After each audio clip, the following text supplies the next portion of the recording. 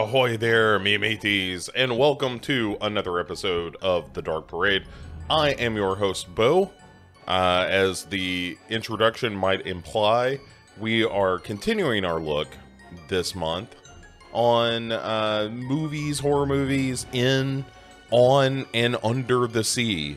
And this one kind of fits all three. Uh, I am finally joined by Pete Quint of Good Beer, Bad Movie Nights. You will hear in the discussion that I was pretty sure we had worked together before, and that doesn't seem to be the case. Uh, and that's because I uh, my brain don't work so good. But we had a really fun time. I am a, I'm a creature feature guy, as regular listeners of this show will know. Uh, I like a movie that is just about some gooey monsters attacking people, and uh, Deep Rising has a lot of that. Um, so I, anyway, I think you're going to enjoy this discussion. Uh, we had a really good time talking about it, and not just about the movie. We just had a good time, and I think this movie is a great tone setter. Like it's a good vibe movie for, hey, I'm going to throw on this creature feature in the background while you know we uh, make some s'mores or do whatever halloween and or horror related activities that you get up to. And you should be getting up to a lot of those activities quite frankly. I have already begun no kidding uh, begun my halloween preparation for this year uh, which is going to involve some animatronics for the first time. So i'm very excited about that um, and it's real basic stuff. I, I just want to make a couple of shambling looking zombies, even though they're not going to move. Well, they're not going to walk, but they will move and look like they are uh, uh, just, you know, shuddering corpses. So, yeah, anyway, uh, that that's what I do when I throw on Deep Rising and enjoy myself uh, a movie down in the garage working on my uh, my corpses, my fake corpses. Yeah, fake. Wink, wink anyway, um, I think you're going to enjoy a lot of this talk, and I'll shut up now and get to it. So, thanks uh, for coming along on the Dark Parade as always. And here's uh, Pete and I talking about uh, Deep Rising. Enjoy.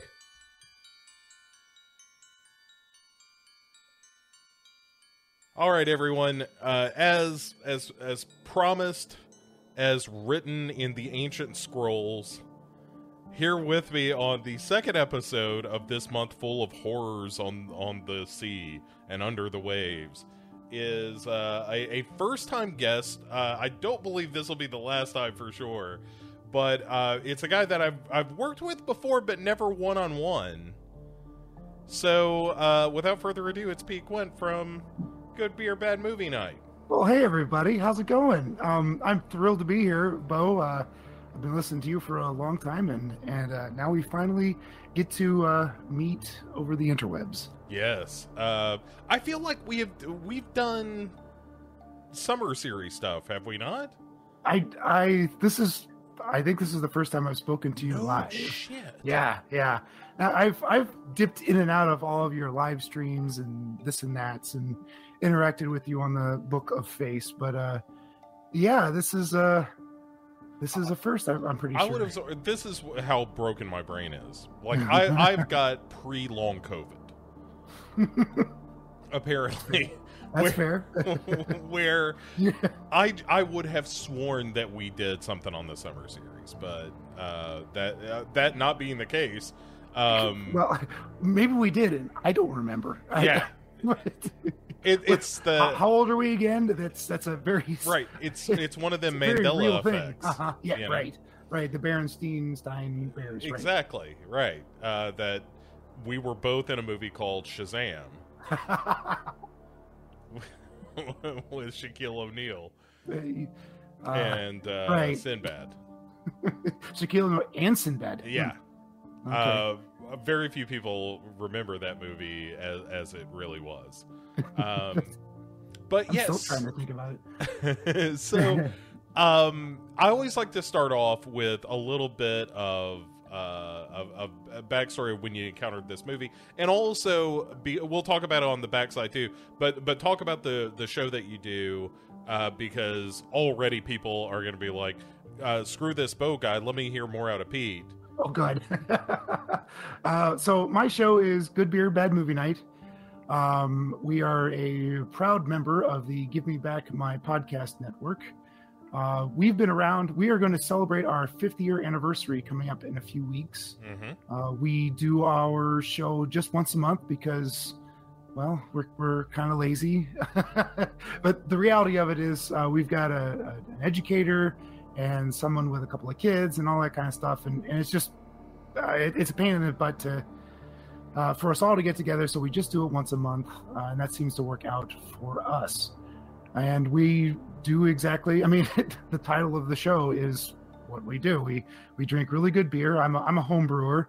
I've been brewing since 2001 and we review really good beers and we watch some pretty shitty movies. uh, usually what I pick because it's it's my show and, and Yeah. I'll pick the damn movies. Uh, but uh, some of them are things that I love. Uh, some of them are, hey, I picked this because of the title. I mean, Kabuki Man NYPD, that's coming up pretty soon. Why did I pick that? The stupid title. Oh, and it's Troma. Yeah. Um, so yeah, our fifth year anniversary is coming up uh, in June. So we're very excited about that. Uh, we are going back to a lost episode that we recorded and listened back to and went, oh, oh no, we, we cannot release this. Oh wow. there was tequila involved and it was it was a bad bad decision um like like there's a there's a steep drop off about about the 45 minute mark of the raw recording there's like two of us just fall completely off the cliff and it's some seriously slurred and broken thoughts and oh it's it's awful. So which i pulled a bunch of uh clips out of by the way. Um so that very first recording was Ape, the uh, Korean King Kong, Mhm. uh, uh, Dino De Laurentiis ripoff, hmm where where the ape fights a real live dead shark, uh, and it was filmed in 3D. So we're very excited. I actually got to see it in 3D. I had a buddy here in town that had a 3D TV and Blu-ray player.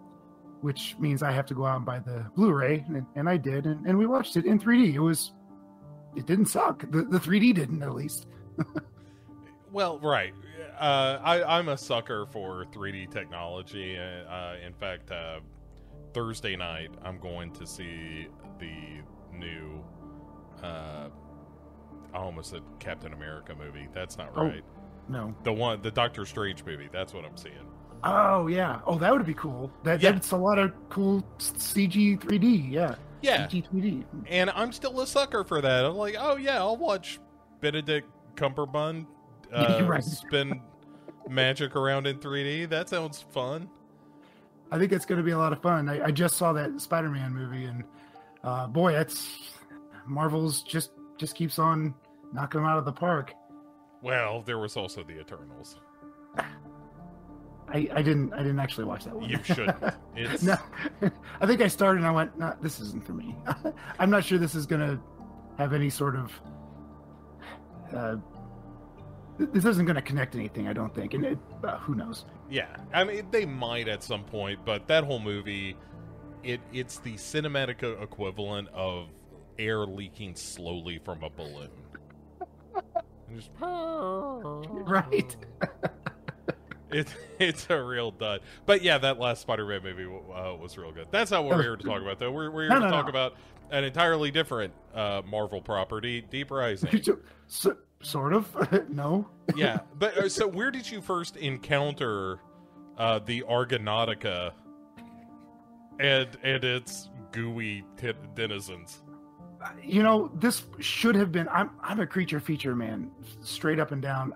I love me a monster movie. Mm-hmm. and 1989 was what how do i say this? a hedonistic year for me Uh, I was- I, I i had dropped out of college i went up to cedar point um, in up in ohio and i was bartending up there and making a whole lot of money and trying to get laid and not getting laid and there was a lot of lot of things going on that summer and i did not catch it in the theaters i didn't catch much of anything in the theaters or thankfully otherwise um but I think I would have. Yeah, yeah. It, it turns out if you catch one, uh, a deep rising like that, you can get a cream.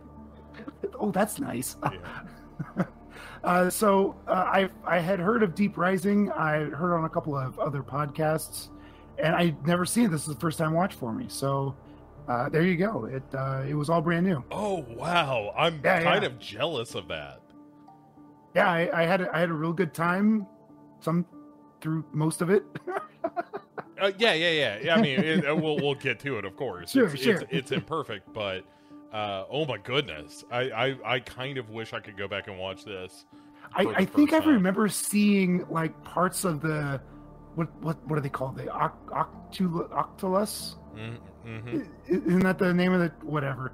I think I had seen parts of it here and there just online, and I just never had watched it uh, front to back. So yeah, this was the first time watch. The uh, Otoya, or the technical, uh, the the creature. That's the scientific term that was yeah dumped on us in the middle of the film. Right. right where they're just like, hey, here's how we're kind of justifying this. right. How does this billionaire know anything about deep sea uh, Marianas Trench creatures? I don't Right. know.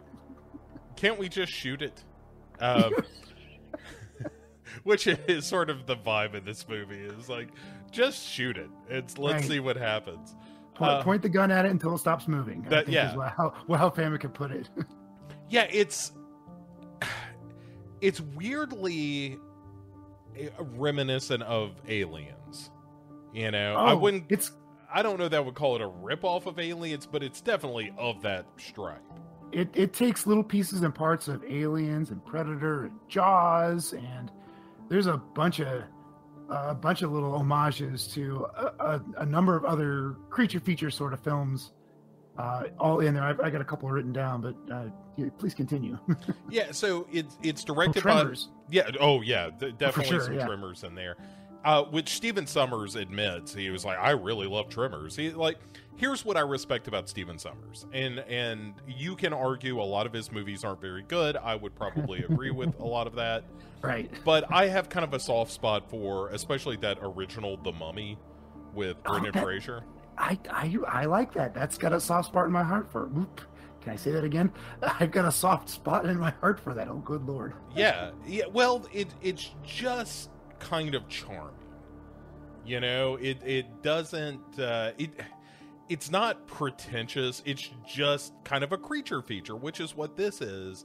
Yeah. And and I think it's sort of what Stephen Sommers likes. And uh, you know, uh, there was you know, this doesn't dip into things you may not know territory, but Stephen Sommers, when he originally wrote Deep Rising, he wrote it at a time where there weren't a lot of creature features coming out. uh-huh. And unfortunately for him, he happened to kind of catch that wave, no pun intended, uh, Uh-huh. at sort of the wrong time because Deep Rising comes out in the same year as like Anaconda and uh, I mean just a, a handful of other uh, creature features that when when there Huh. hadn't been for a long time and all of a sudden there's two or three of them out Yeah. Leviathan, Deep Star Six. Those were a couple that came out, or it came out after them, Yeah.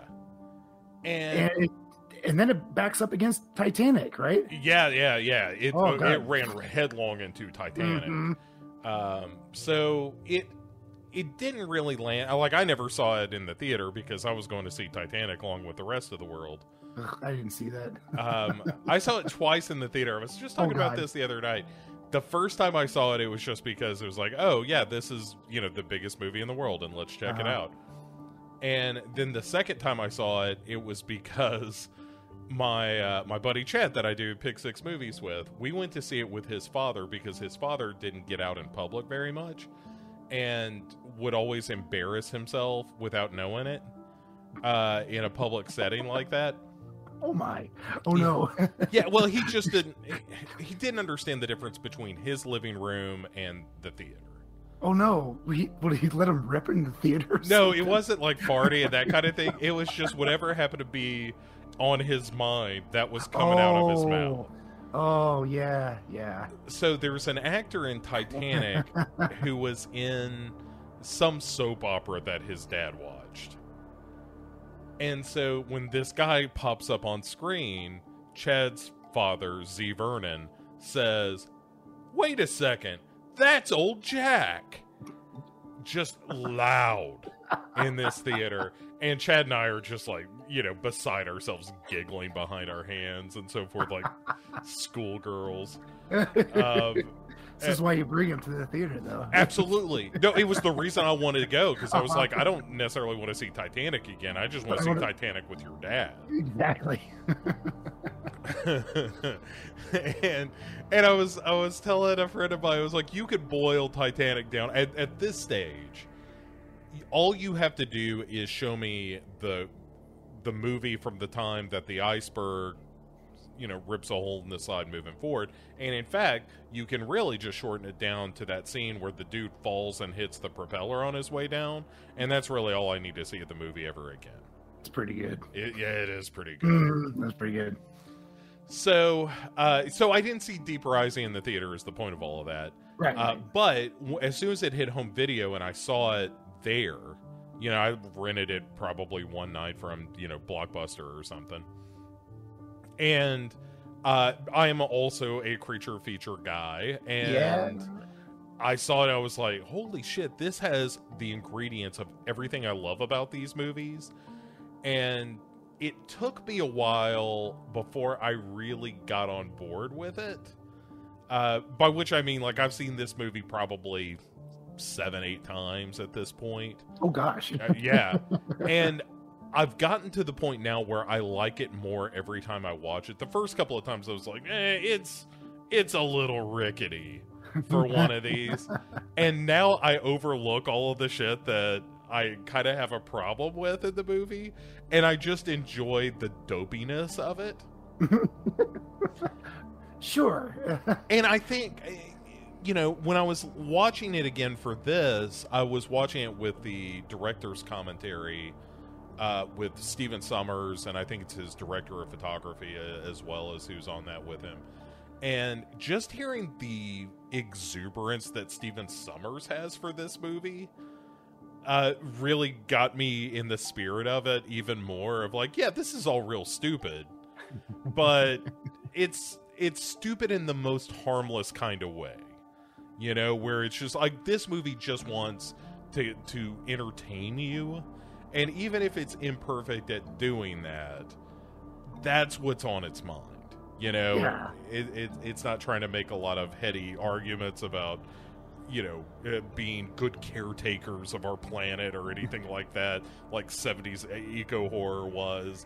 This Yeah, like, it's just a big dumb blow 'em up movie uh, and i i think it a film like this will have a lot of feet have a lot of legs over the years if the actors are having a good goddamn time in the movie and it, i thought it was Yeah. very clear that everyone was having an absolute hoot treat williams primarily he was loving this movie I'm, I thought Famke was having a good time with it. Also, it, uh, Mhm. there was you, you could tell the energy that was coming off those people, even though the dialogue was kind of awful and uh, that that CG. We'll, we'll talk about that in a little bit. Yeah. But they were there was there was an energy coming off of the film, and I I thought it was refreshing that nobody, uh, no one was was uh, phoning this in. They were all going uh, just uh, just right into this these parts and having a great time. Oh, and especially for my money, Kevin J. O'Connor hmm uh, playing uh, Pantucci Talk talk about the money, the mummy. I mean, that's that's Yeah. where I, I didn't recognize him until he spoke. Like, oh, that I know this cat, uh, and yeah, for sure, the mummy. He was the weird- the, the weird brother in the mummy. Yeah, Benny. Benny, yeah, right, right. He's in fact, Stephen Sommers talked about how like he showed up for this movie kind of schlubby, and he after uh, they finished this movie and it was in post production and they were working on the effects and all that kind of stuff. And that, and honestly, that's one of the reasons that this movie kind of ended up in the middle of Anaconda and a bunch of other movies that are a little bit like it is because ILM was working on the effects for a long time, even though they don't. It, took like an extra year to to, release it because the Yeah. effects were like, oh, we don't know what to do. This is wackadoo first time we've done sort of Yeah. a spaghetti monster or octopus monster, spaghetti monster. well, yeah, I mean, this it, it was a couple of years after Jurassic Park, and this was almost fully CGI as opposed to that mix of practical and Right, puppet right. There, CG. how how much of the monster was puppet? I, now there were some the gore effects. A lot of that was practical, which was glorious. Yeah. Um, there are a couple of moments like Rob Bottin uh, was was behind a lot of the creature design, and there's a great story he tell uh, Sommers tells about how uh, if you remember the scene where uh, Treat Williams and Famke Janssen are in like one of the flooded corridors and the thing bursts between them. Uh huh. and that's a practical effect. Oh, and and Sommers kept asking Rob Bottin. He was like, "Hey, I need this thing to to move past them, and I need you to design something." And Bottin was like, "Yeah, yeah, I'll give it to you."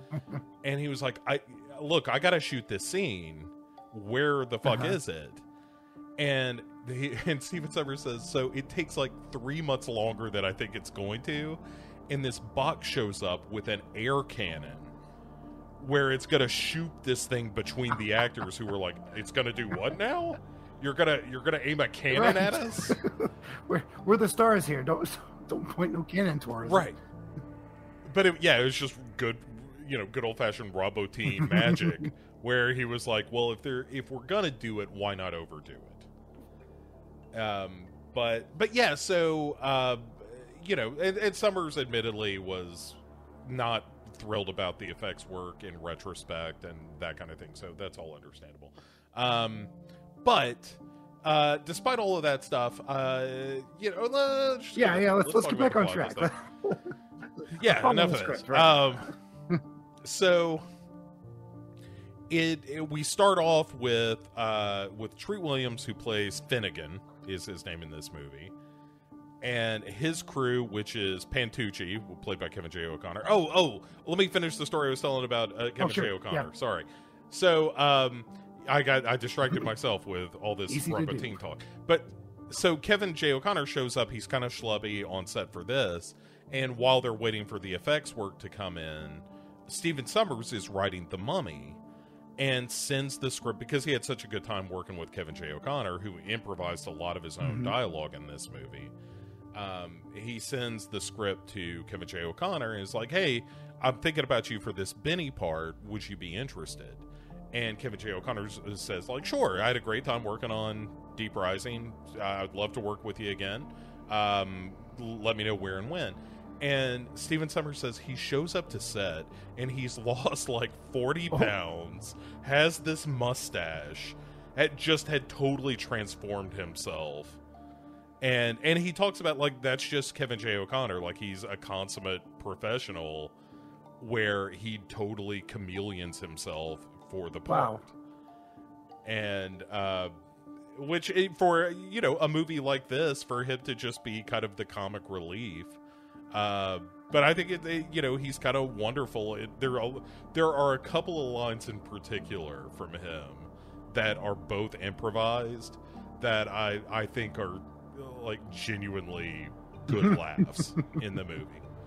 But anyway, all right. Right, so back to the plot. So all right. So Finnegan, uh, Pantucci, who is the Kevin J. O'Connor character, and then there's Layla, who is Pantucci's would-be Girlfriend, girlfriend. right. And they are they have their own little ship that Finnegan pilots with a joystick, which I appreciate. Right. It's like a like a really Atari twenty six hundred joystick or or Zaxxon Zaxxon uh, joystick is more like it. Oh, it could be it could be Zaxxon, could be Tron. Tron. Oh, very good. Yeah. could could be any of these and they have been hired by a bunch of mercenaries um, led by Wes Studi from Last of the Mohicans fame. yes. And right. I, I was thinking Sphinx from Mystery Men. oh well that also true. uh, but it's it's Hanover is Wes Studi. There's Mulligan, Mason, Billy, a guy named T Ray, Mamuli, Vivo, bunch of Right. thugs. And the, the Marines uh, from Aliens, basically. Uh-huh. totally except jerks. Yes. You sure. know? I mean, but they're, I mean, they're kind of uh, they're kind of the villains, and They're of, of villains, all of yeah. them, like, yeah, you would know like Clifton Powell, who plays the the guy Mason, uh, Djimon Hounsou from Amistad and a bunch of other things plays Vivo. Uh, Jason Flemyng is, is Mulligan, who you would recognize from, uh, maybe, mm, yeah, like he was in From Hell. He's just been in all kinds of shit. He he's a, an like a character actor that I know, but he's one of those guys I don't know exactly how I know him. Yeah, yeah, that's that's how I thought Treat Williams was. I'm like, I know that guy.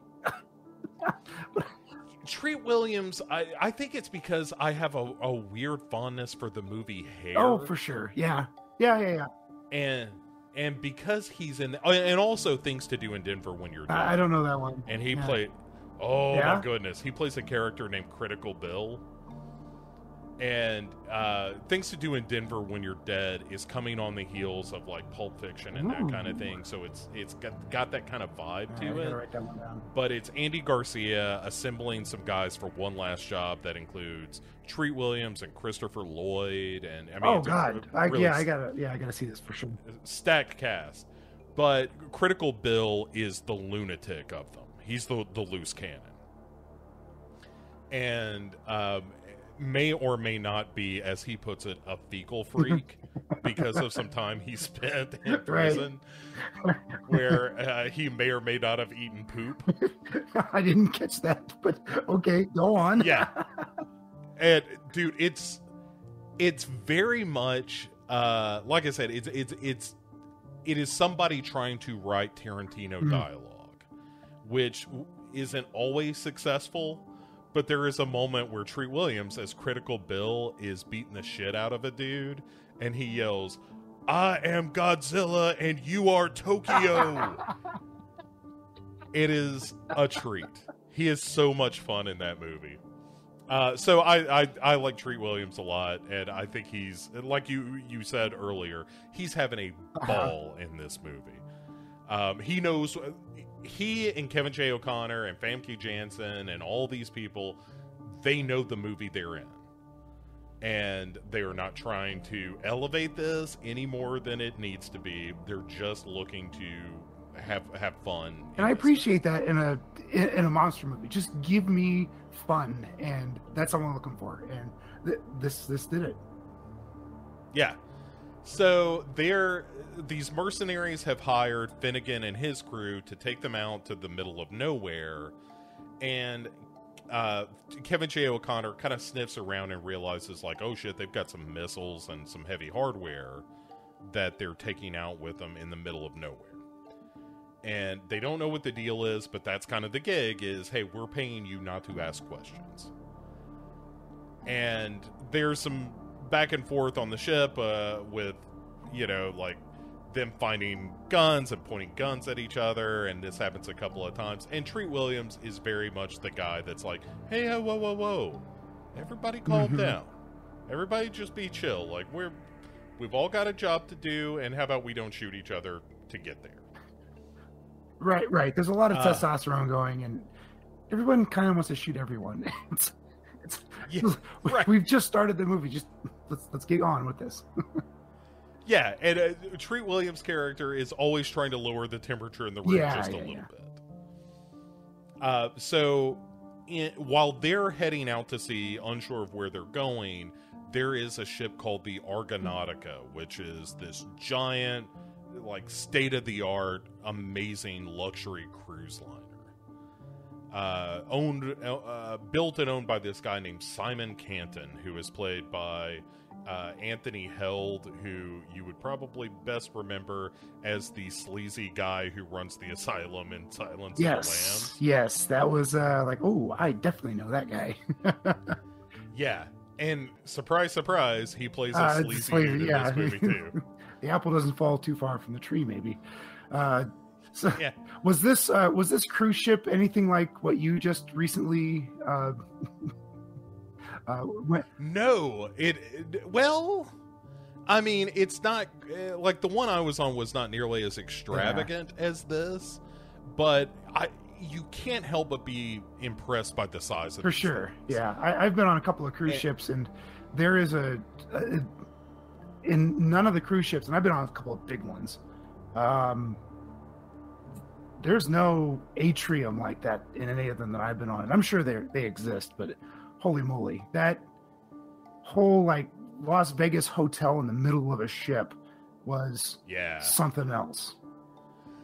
There, there was a giant lobby because I, I did the Disney. Oh, okay, all right. and there is kind. It's not nearly like what you see in the Mhm. movie, but there is kind of this big hollow middle in those ships where it's kind of creepy because when you come on, you know, like you they've checked your you know your passport and taken some of your blood and all that Right. stuff. A little stool sample. Yeah, yeah. just- Yeah, to offer to their dark god Mickey. But when you come on the ship, they're like, "This is the Redstone family," and a bunch of people clap and stuff. And it's like, Uh, "Ugh, "This is creepy. right, I, right." It's a little unsettling, but they do.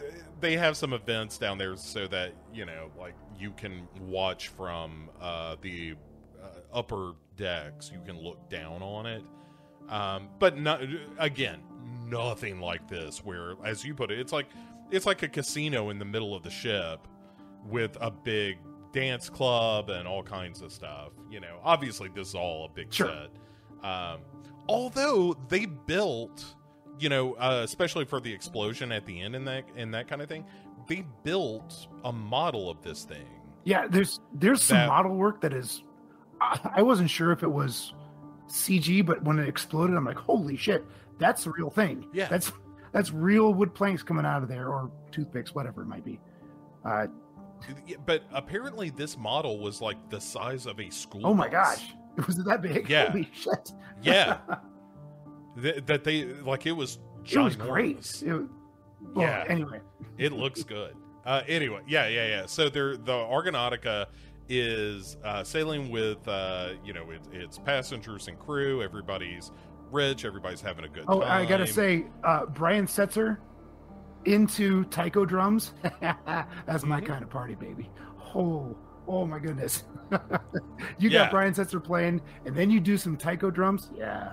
Mm-hmm. I'm I'm front row for that. uh, as well, you Mhm. should be. Uh, he plays here, I think, just about every Does he? Yeah. I saw him at the Columbus Zoo a couple, eh, maybe a decade ago. That's that's a hell of a show. Please go see Brian Setzer and his amazing orchestra. It's something else. Yeah. Uh, he, he does uh, Christmas Oh, show so good! The Christmas year. show. Yeah, I think I have like three of those CDs. yeah. So uh, I need to do that. this Mhm. Um, anyway, so uh, in addition to Brian Setzer playing, there's uh, Famke Janssen who plays Trillian. Trillian St. James is her name in this movie, which is The only other ridiculous. trillion I know is from Hitchhiker's Guide to the Galaxy. That's where they Oh got the shit! name. Really? Yeah, yeah, yeah, yeah. A hundred percent. Yeah, that no, that was Stephen Oh. Sommers just kind of doffing He's his cap, dumping all Yeah. of his childhood into a movie. Okay, that's all right.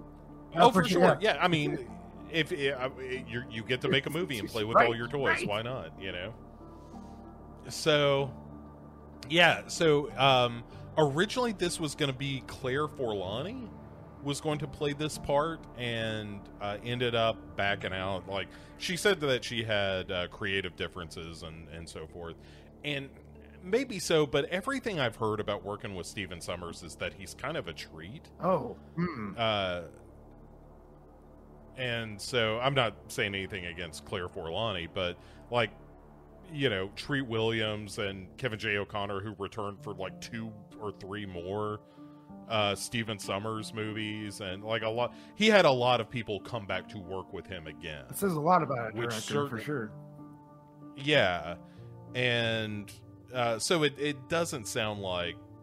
It, I mean, it just may have been, hey, we got off on the wrong foot or something because she wasn't there Hmm. very long, and then Famke Janssen is is cast, and there's a, a story about her which she got to set that it's one of the first scenes where Stephen Sommers is telling her like, you know, you're in this amazing dress and you're going to be breaking into this room and you're stealing these jewels and you're going to be beautiful and it's going to be great and she just starts crying Oh, yeah What- and he's like what what's wrong and she says i just i'm so sick and tired of everybody telling me to be beautiful Aw. in the movie oh, that's so sweet. and, and he he says. I.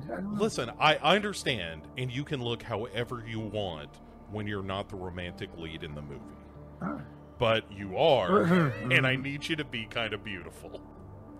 And and this is her coming off of Goldeneye as Oh, well, where you know, That, that couldn't have been fun. but right. So, uh, but it, I, I I felt so bad for her that she's just like, I just want to put my hair up and be a normal person, and he's like, I I wish I could give that to you on this movie, but I need you to be kind of hot because you are. at, at least for the jewel stealing part. I mean, that's she's that cat burglar sort of thing, and you know, uh, working her, weaseling her way into you know stealing cards and whatever. But yeah, you, we'll get to this.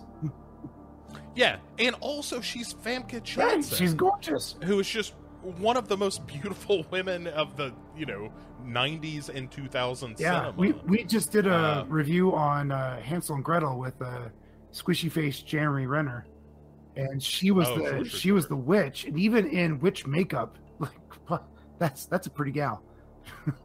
yeah yeah i mean she yeah she's stunning and anyway and, and but i i do think she's fun in this you know she she's got that kind of sassy like you said kind of that cat burglar Mhm.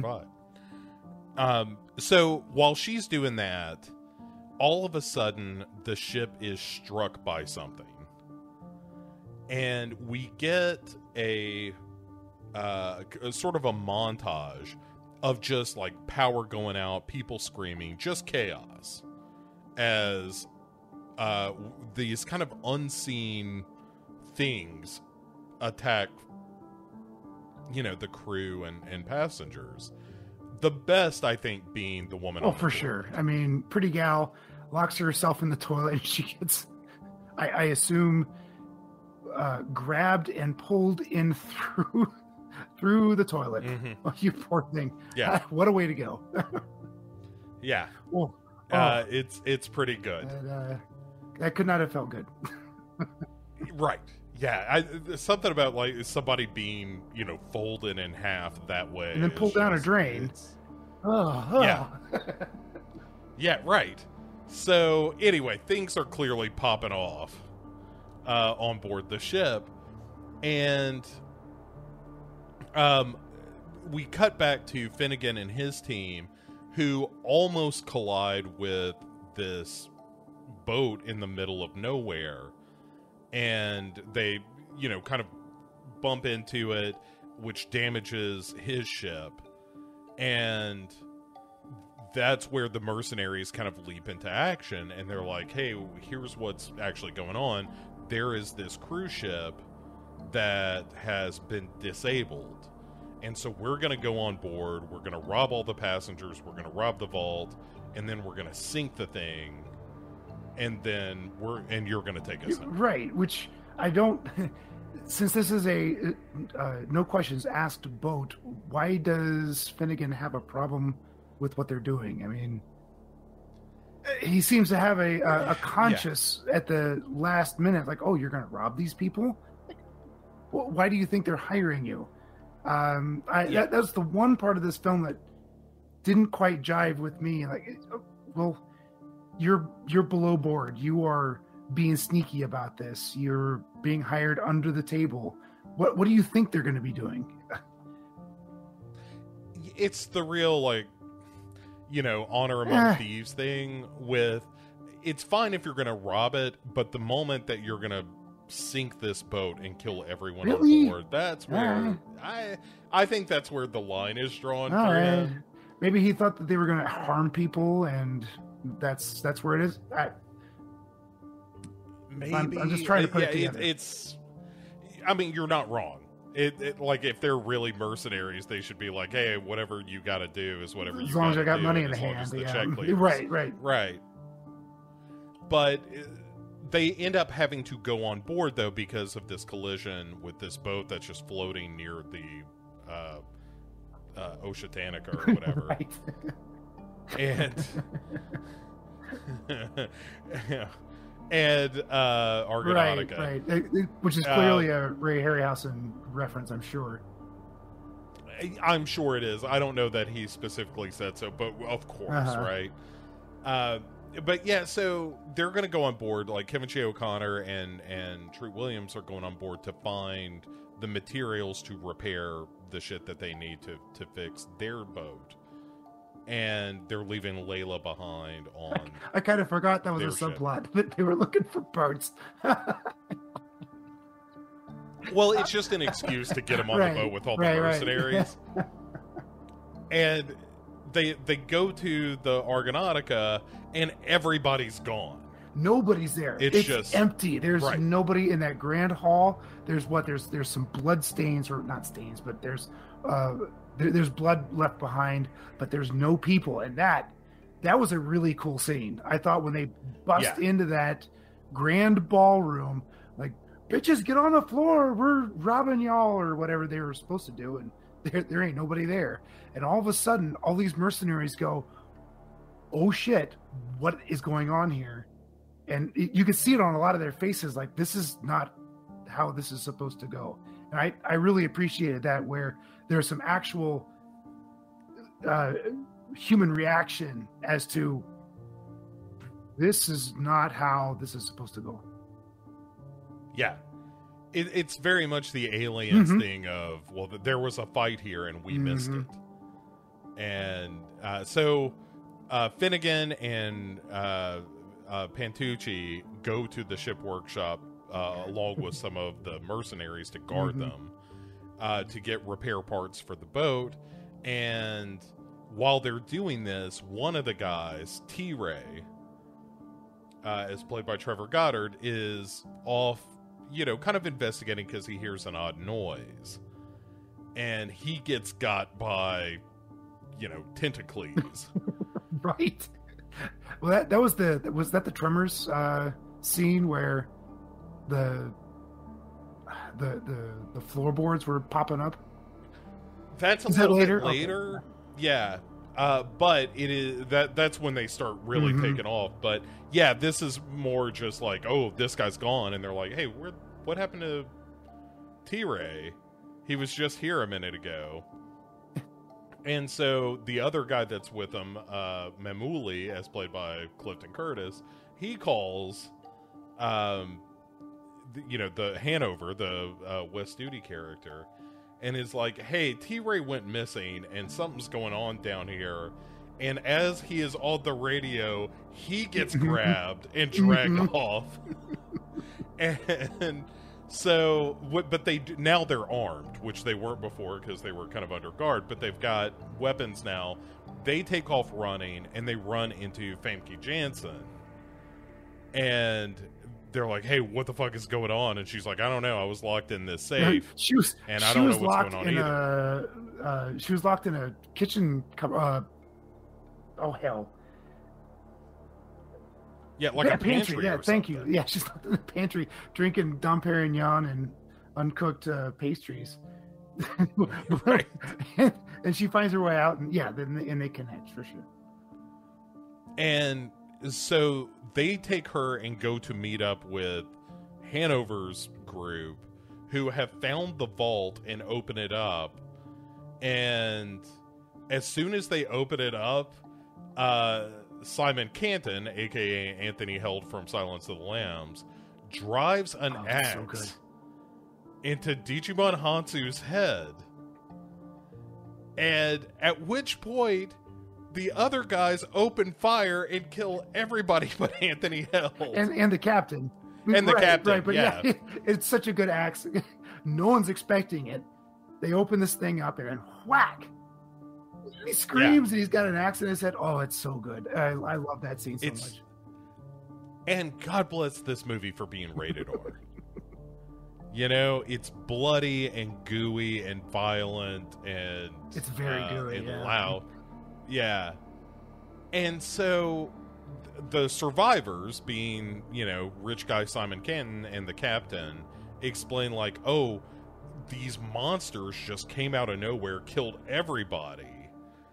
And it turns out that Simon Canton is in the know about all the, the mercenaries because he was going to sabotage the ship on account of it costing so much money to build the damn thing. I I love the whole the, the line that uh, oh uh, the line we're, we're all gonna die because you screwed up on the math.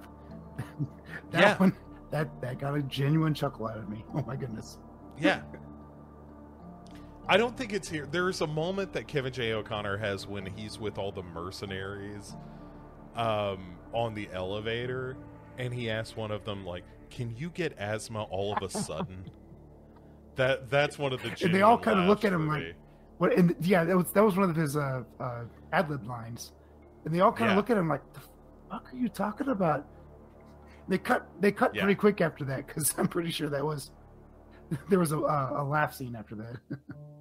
Yeah, oh, for sure. It's up, it's yeah. really good. But yeah, so the whole deal is like he's hired these people to sink the ship, collect the insurance money because it will never turn a profit operationally. And then they all get attacked by a bunch of these tentacles. One of and it's basically tentacles with claws at the end and mouths. Yeah, it's got a lot of it's got a predator alien vibe to it. As as it opens yeah, up, sort of. heavy tremors as Mhm, mhm. well. And uh, but it's pretty good. Like uh, the the effects aren't great. The design of the creature is really Agreed. good. Yes. The the actual effects work is less Yes. good. There's there's definitely a point in the movie where you can tell where they started running out of money. yeah money or time one of the right. two uh but yeah so they end up eating the captain and everybody's like what the hell is this and this is where simon canton says oh maybe this is an evolution of the Ottoia Yes. which is this like undersea uh creature that uh, lives way down It's like a deep. tube worm or something. it- yeah, essentially, it's a giant worm that eats something and then it drains it of all their bodily fluids and then spits out the Right. carcass. And and that's what it does. And yeah, and so they're they're trying to get away again because they they're attacked. Uh, the, one of the dudes, Mason, gets got and he tries to detonate a grenade, um, and it kills him him along with a bunch of the, the tentacles, and then uh, Mulligan, the Jason Flemyng dude, he's like, "Hey, I'm gonna stay by in the ga- stay behind. I'm gonna stay in the galley until there's gonna a rescue party comes because I'm freaked out. And besides, I think I'm safe in here, and that's where they come through the vent of the the oven, right. like the the the hood, and grab him that way. He gets he gets uh, eaten so- like the like Andy Serkis in uh, Peter Jackson's King Kong, like like those Yeah. those tubey things in the swamp. Yeah, it's real gross. It's, it's Yeah. real gross. S- stay tuned for uh, some some Peter Jackson King Oh, Kong that's- oh, that's right. Yeah. Um, so anyway, so yeah, the, now they're just on the run. They're shooting the tentacles, which are kind of like unfolding behind them and that kind of thing. And that's some I- uh, of the worst CGI, I think, when you see just the tunnel full of these tentacles like flopping all over That's, each that's other. where the, the color starts getting off just a little bit from the from the, the reality. Uh, Yeah. And it, it gets worse from there. Yeah. Uh, all right. So they end up being kind of driven to the bow of the ship where they find the kind of you know refuse pile of yeah, this it's, monster. it's the porta john of of the tentacle monster because they can't digest the bones, so they poop it all out into the, the aft of the or the bow of the ship. It's, ugh. it's Yeah. gross. It's real gross. It's it's a good gory moment because it's all these like pieces of uh of of body parts everywhere. And so Simon Canton though is like, "Hey, I think I can still skate out of this right." Because if everyone else is dead but me, I can say, oh, there was this horrible, you know, uh, tragedy on the ship, still get that sweet, sweet insurance money, and there's nobody around to, you know, say that I was the bad guy. Um, but uh, as he's worried about this, like the the creatures are kind of trying to get through the bottom of the ship, and it busts through part of the hull, and so the whole lower decks of the ship is now flooded. And um, there's a great moment where, as like all hell is breaking loose, this is you know getting towards the final Mhm. flight uh, of the movie. Uh, and uh, also, you see some of the stuff like you know you were talking about that thing from the thing uh, with uh, the uh, you know uh, uh, you know panels, the metal panels of the floor being tossed up. Yeah. as it chases after him and stuff, and like there's some That's an that. effective scare. I really enjoy that when when that's done. Yeah, it that's really good. There's a point where one of the guys named Billy gets grabbed, and it's one of those things uh, that, uh, again, unfortunately, Anaconda did the same thing with Jon Right. Voight, but it's still pretty good. Mhm. Where the the creature kind of vomits Billy out, and at first he looks kind of okay, and then turns slightly to his right, and you realize that the left side of him is mostly digested. At It's so good, and you can see through his hand. Like you can see the bones through his hand, and part of his Mhm. brain. Oh man, that's that needs to be a poster somewhere. That's so good.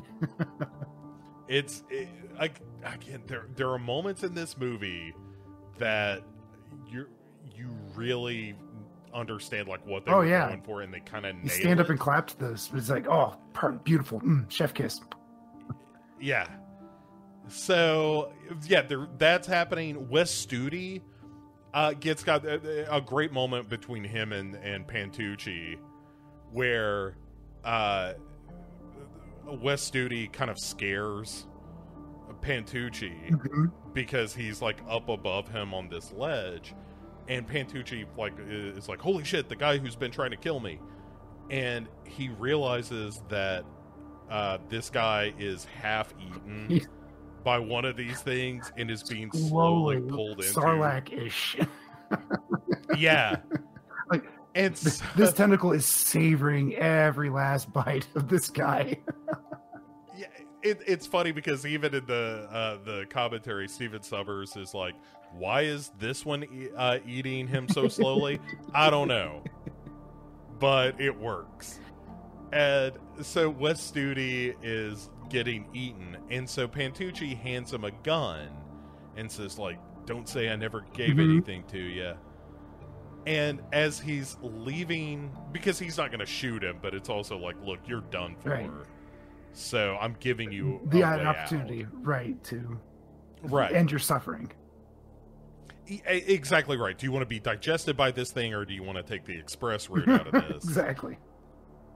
And as soon as he gets up, though, as soon as Pantucci gets up to walk away and leave Wes Studi there, Wes Studi takes a shot at him and hits him in the shoulder, and he's like, "Hey!" He screams, "You asshole!" I'm like, that was the best "you asshole" I've heard in years. It was great. it's it's really good. Like he is genuinely like it's not just being shot, it's of being offended.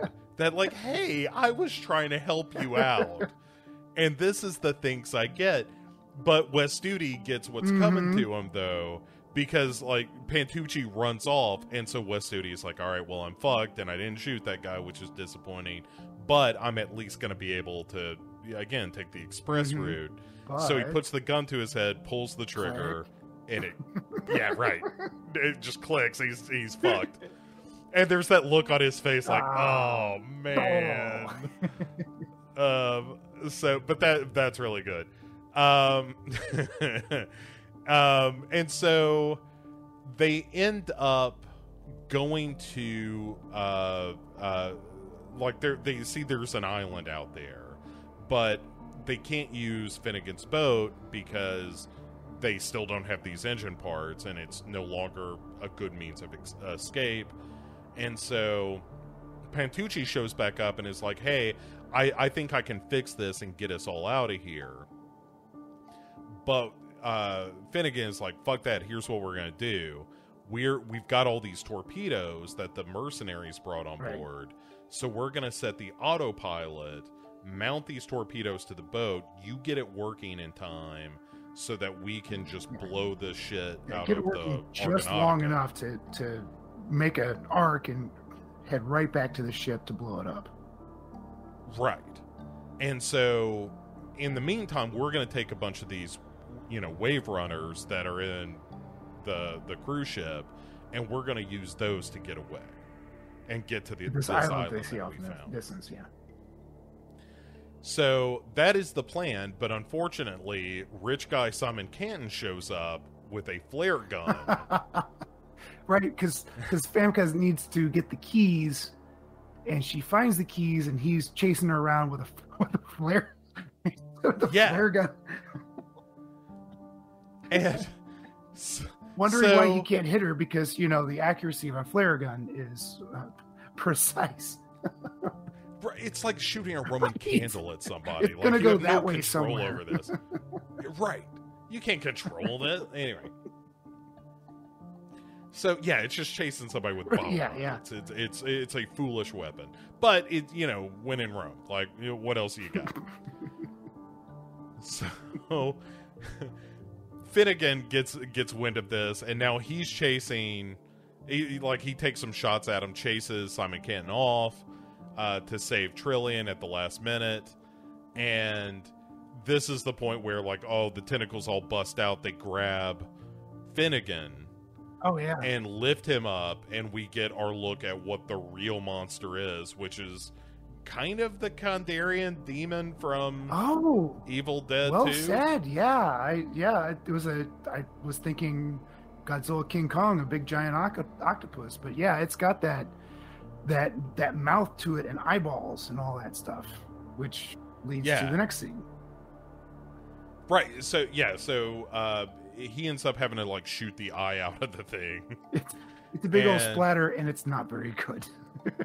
Yeah. It, it's but he gets away. He gets Right. away from the thing.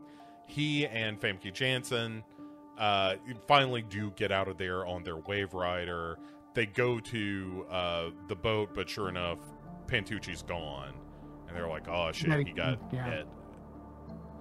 And uh, rich guy Simon Canton also gets off the boat and onto the onto Finnegan's boat. And but in the process of that, he has injured oh, his Oh, he- leg. he- Compound fracture leg. It was gross. Yeah. So, but he thinks he's getting away. Little does he know that the autopilot has been set. And so, as he tries to figure out how to disable the autopilot, we get a good, like, game over on Oh, one yeah. of the displays. and the thing, you know, turns uh, in, into the Argonautica. It explodes.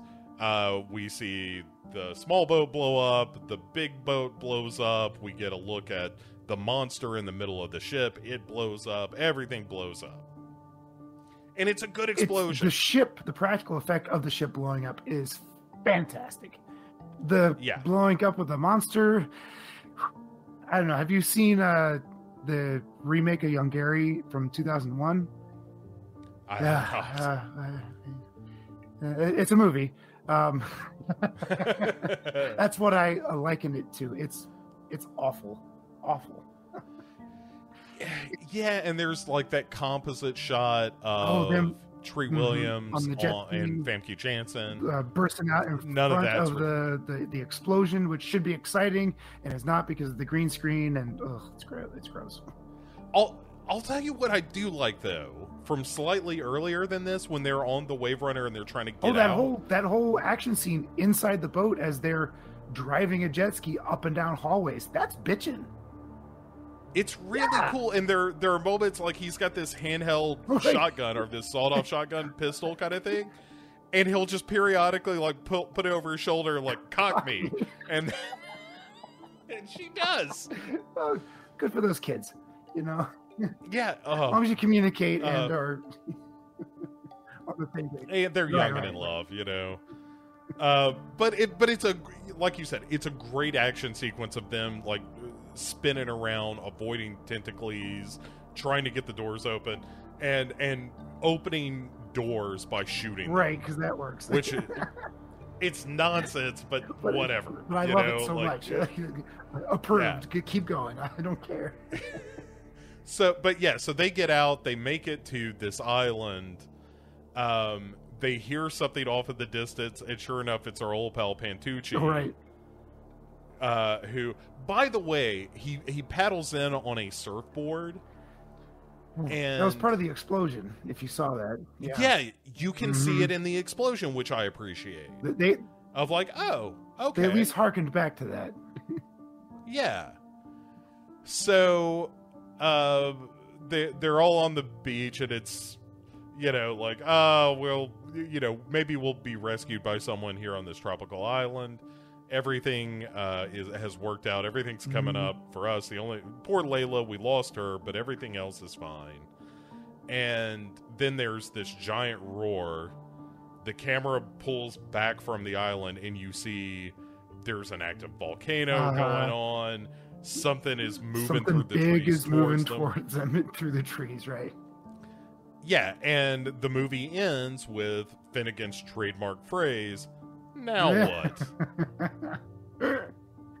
End of movie. and, and, And then that's right. yeah. Clearly trying to set up a sequel. I, I, we'll get to it. We'll mm-hmm. get to it. That's going to be one of our Right. three things because it's interesting. So let's talk about this cast, which we've we've talked about a little bit, but just to to set our stage of characters, uh, like uh, like we talked about, we got Treat Williams as Finnegan, Famke Janssen as Mm-hmm. Yeah. Trillian, Kevin J O'Connor as, as Yeah, yeah. Pantucci, Anthony Heald as Simon Canton, Wes Studi as Hanover, uh, and then a, A bunch bunch, of of character Right, right, right. actors, you know, as as our our mercenaries. I think the cast is great. The cast is great. However, I want to play. I want to. I want to plant this uh, seed in your brain.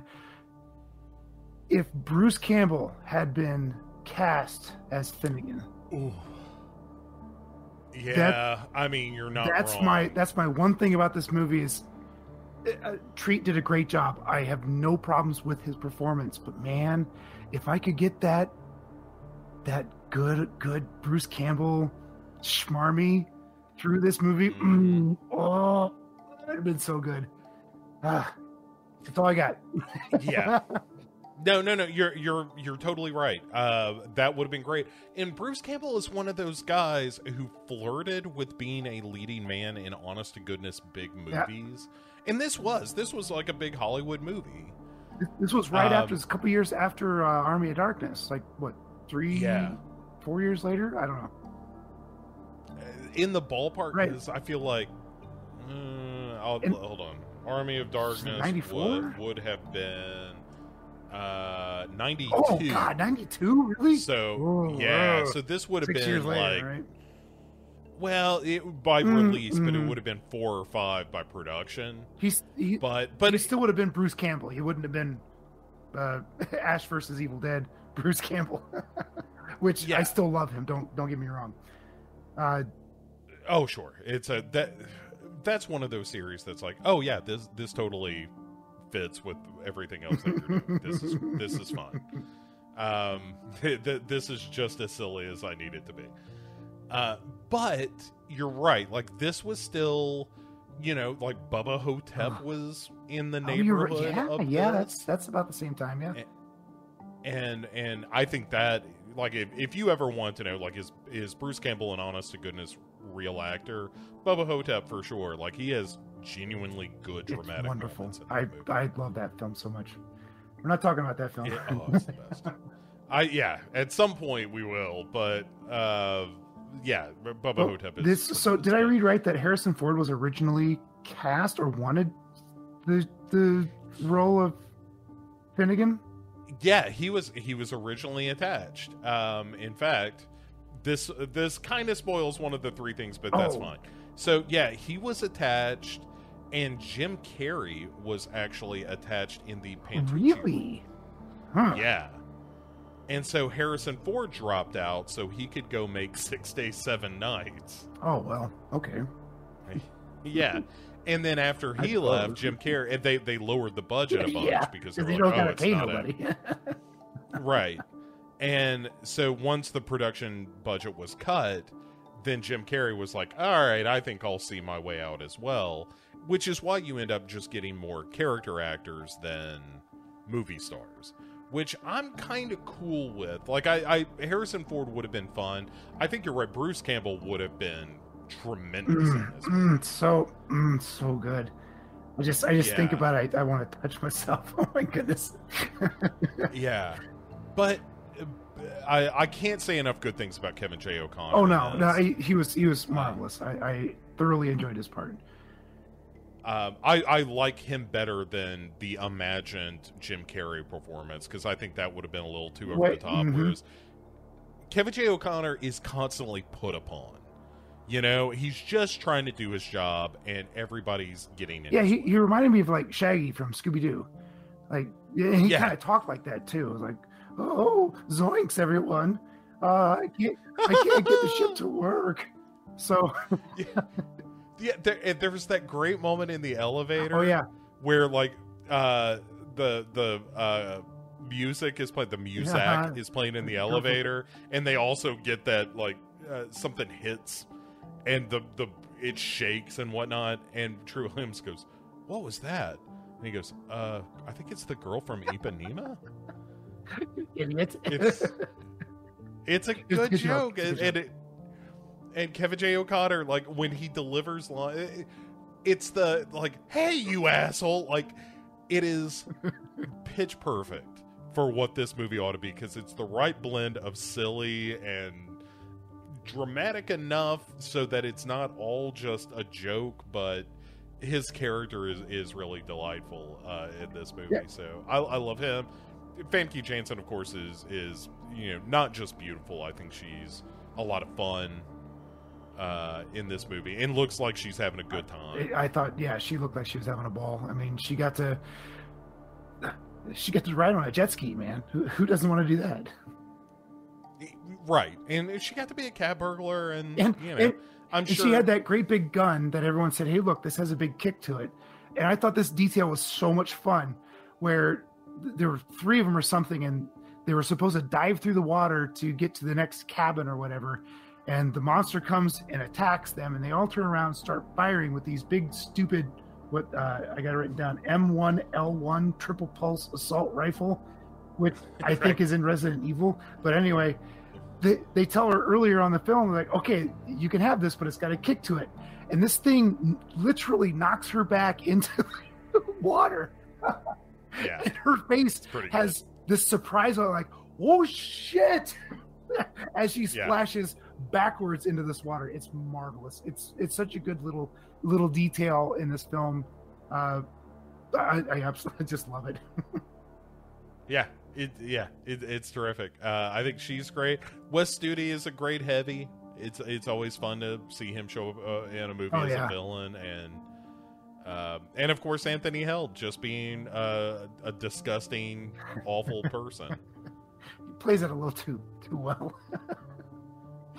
yeah, I don't know I- personally. I, I'm sure he's a wonderful person.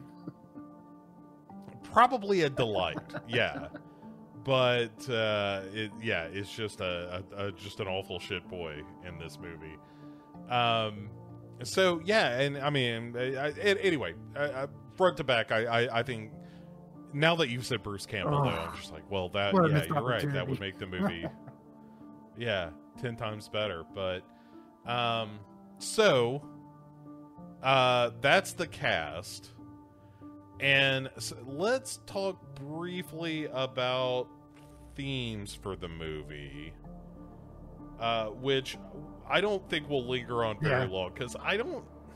It's not a heady film. It's not not a, it's not a lot of meat on this bone.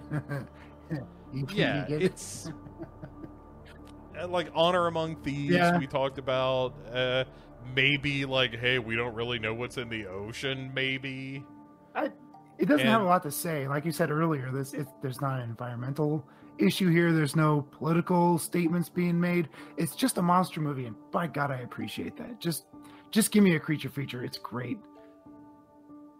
Yeah, even uh, you know, we talked about like Orca earlier this season Uh-huh. already or this month already. It's like, well that you know, there's this kind of Moby Dick kind of quality to it and and and certainly the, this idea of like, you know, our relationship to other sentient beings on the Yeah. planet and that kind of thing. Even even with And- Orca though, it's it's kind of a, a re- should I say reverse revenge though? Because the Orca is taking Yeah. revenge on mankind. So that's that has a lot of story to be told. There's there's a lot of things going on back there. Yeah. Yeah, right. Right. And this doesn't have even that. no, no. you know it's Wait. uh, it kind of goes back like i don't know if you if you ever saw this it was some i want to say it was like stephen king's world of horror Ooh.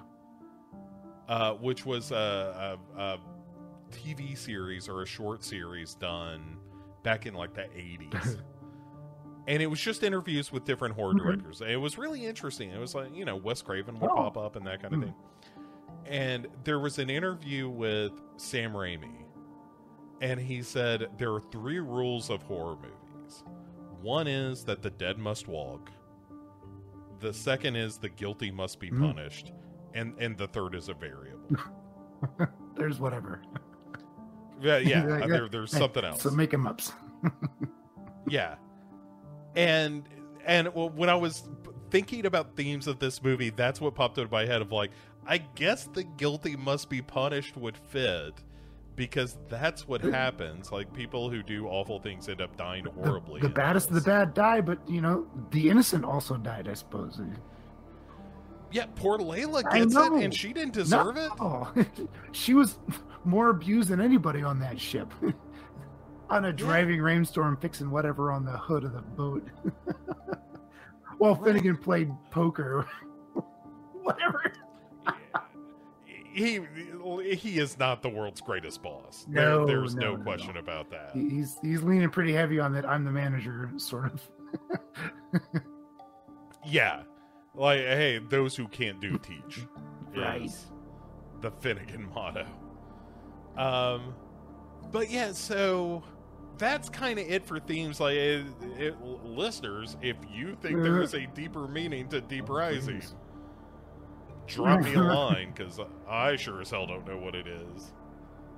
Uh, so enough of that nonsense. Let's get to the real nonsense, which is, uh, what, what are your final thoughts on this movie? And I'm really curious because you haven't, you've only seen it recently, and especially coming out of this conversation where I'm clearly very enthusiastic about this. So, so as always, uh, you know, we we scored this movie on a uh, five star scale. Uh, half stars are allowed, but not quarter stars because we're not monsters, unlike the Octalus or whatever. Uh, but well, yeah, where where did you land with this thing, uh, score wise, and just how did how did you feel about it? It's it's weird because I had a good time with it, but it's not a good movie. So how do you how do you like, as far as the movie is concerned? No, I do I recommend it? Eh. Uh, I'm gonna give it a three and a half because Uh-huh. There's nothing really wrong with the film except that last maybe 25 minutes of CG. it's pretty pretty bad Yeah. um the everyone's having a good time it's it is a definitely a rated r movie but it's not so heavily rated r that younger horror enthusiasts might get turned off on uh it's for an r movie with lots of gore it's pretty lighthearted. It doesn't make you think too much. Um you're not emotionally drained after this that's for damn sure. It's not hereditary where you're like oh god. I'm, I'm done. Right. i'm done. I'm just gonna walk off into the sunset and i'm done with everything. Um it's it's a it's a creature feature in its uh entirety. I man, this should have been on the. Uh, this should have been a Roger Corman thing back in the fifties. This is a wonderful film to see. It's, but it's also terrible. I, I'm so mixed. I have such mixed emotions about it. Uh, I'm gonna stick with a three and a half uh, because I kind of sort of recommend it, and I definitely had a ball with it. All right, that, that's respectable. So uh, yeah, no, I'm I'm I'm mostly with you. I I agree. I think it's a really fun creature feature. I it, it is one that I am. yeah, It's kind of a hometown favorite, and I the, the biggest problem is the visual effects. I think, and there's a, a quote from uh, from some of the people who worked at Industrial Light and Magic, who created what they called the Stephen Sommers scale of of how much digital effects to put in a scene, and the lowest to highest rating are what the shot needs, what the computers can handle. Oh my god, the computers are about to crash. And the highest being what Stephen wants. And and so he definitely leans on that stuff. Uh, I am often of the mind that like, hey, nobody left the theater humming the the special effects. The special effects rarely sink a movie, no pun intended.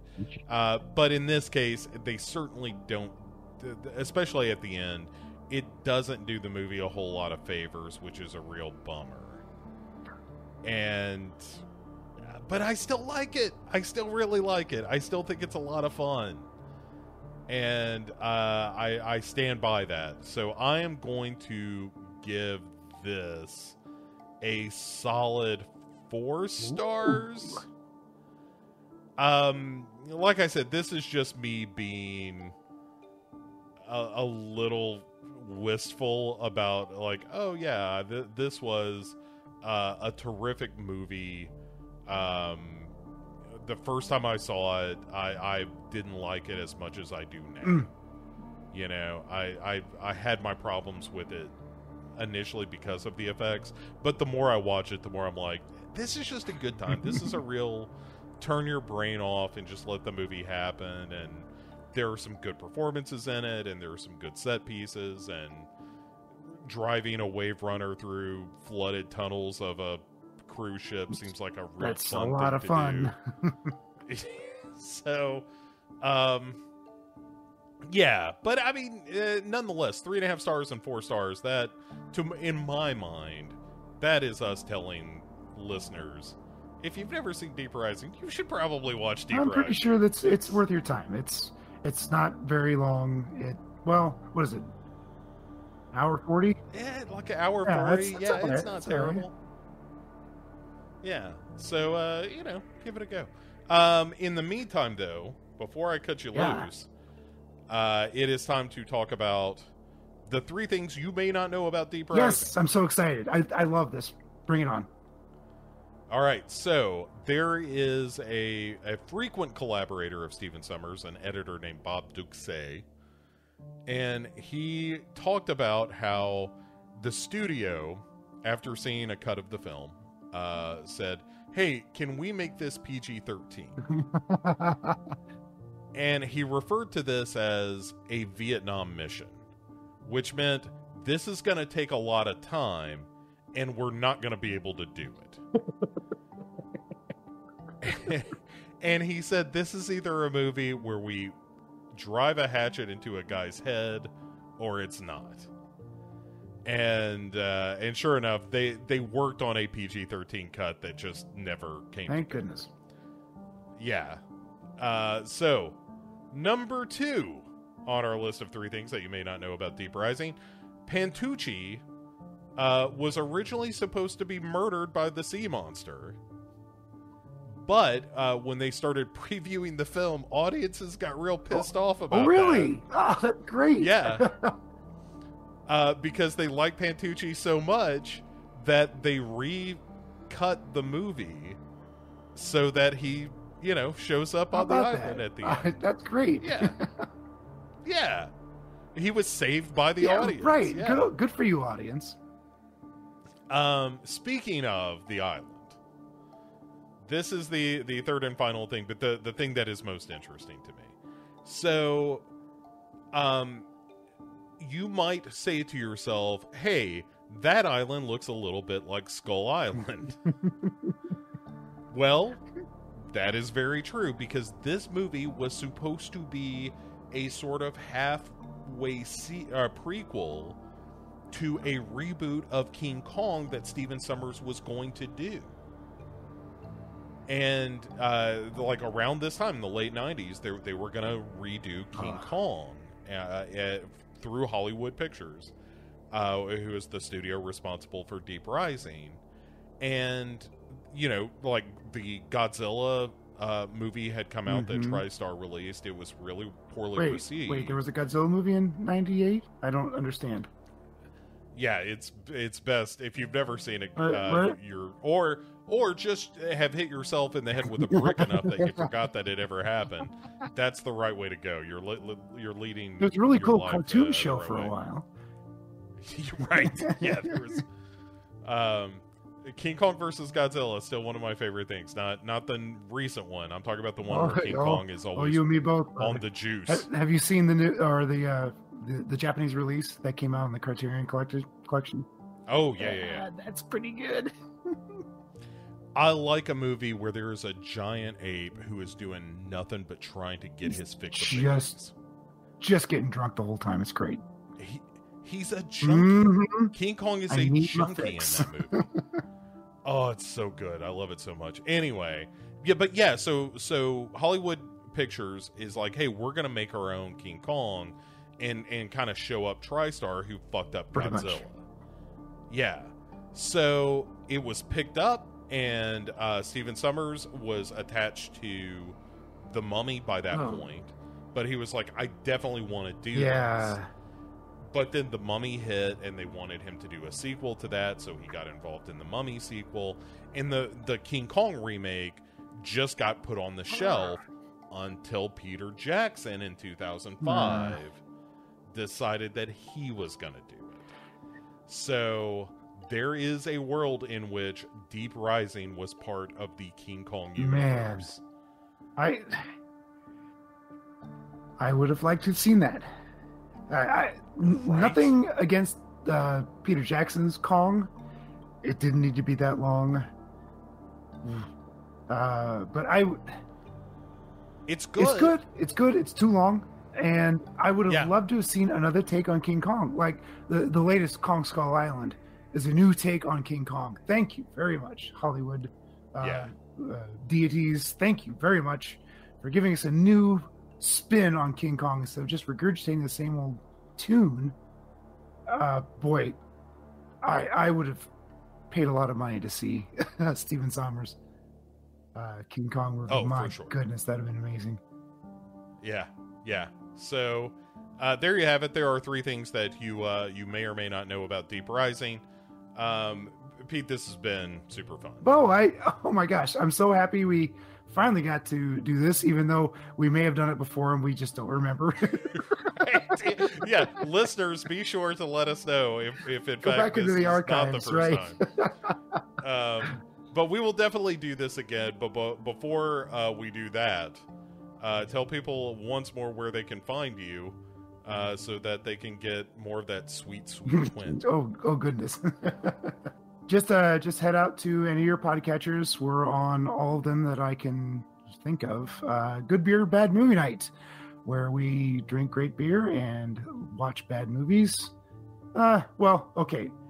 There's one person in the cast that doesn't like any of the movies that I pick. and uh, I usually like most of the movies I pick. So eh, bad movie is relative. Uh, we are part of the uh, Give Me Back My Podcast Network. There's a bunch of shows over there you can go and check out. There's horror, action, wrestling, and a bunch of others. So, yeah, come on over.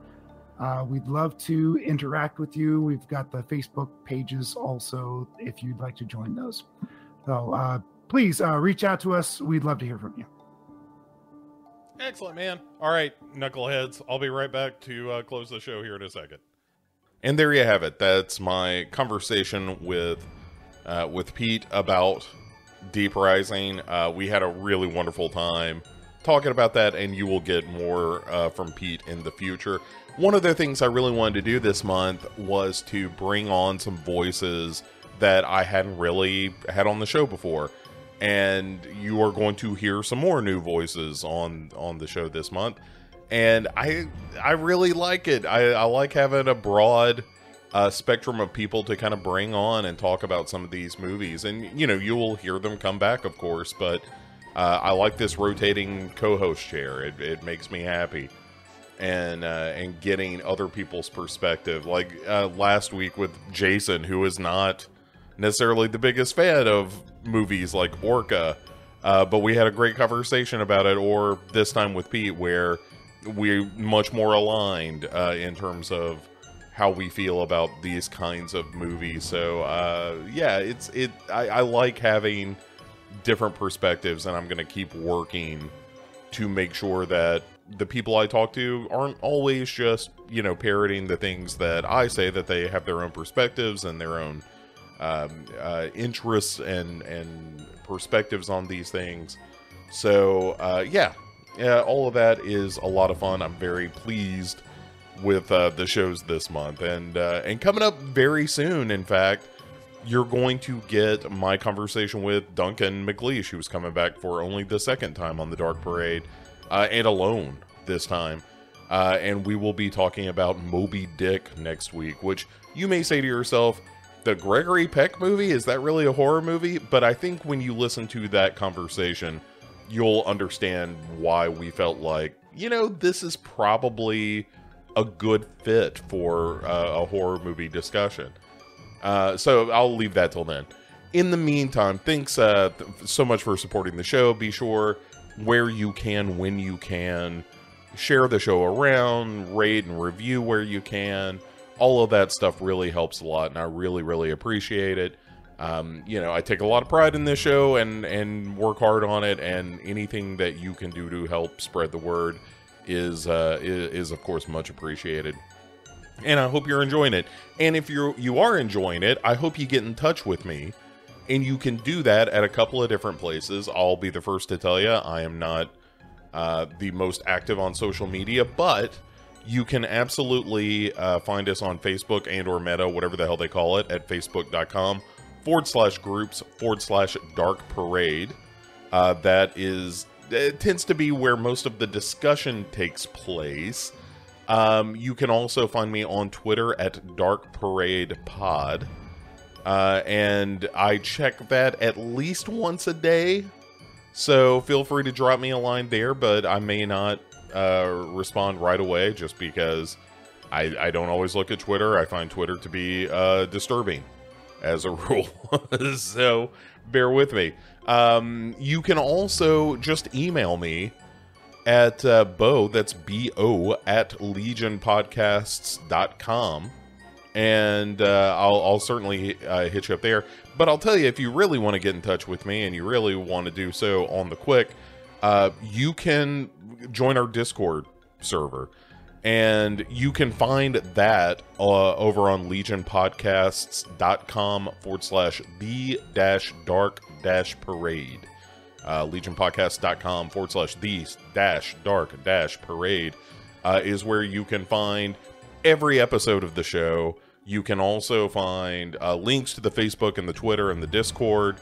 And uh, there's also a GoFundMe over there. I have, uh, if you have a couple extra bucks, I am actually going back to school in order to uh, to to live the glamorous life of a public school teacher. Uh, but you know, where I live, there uh, there is a bit of an assault on public educators, and rather than you know post memes about it, I thought, yeah, I should probably finish uh, my certification to teach and get in the trenches and help fight in that battle. So, uh, if you would like to help support me in that cause, uh, so that I don't have you know crippling student debt on the other side of it uh, you can certainly do so at the GoFundMe linked on legionpodcast.com forward slash the dash dark dash parade. Uh, so that is it for this time. We've got more horrors in, on, and under the sea coming your way next week. We've got some more found footage fool. We've got what you watching. We've got Heart of Horror. All that stuff coming up uh, here in May. And uh, thank you, as always, for joining the Dark Parade. We'll see you soon.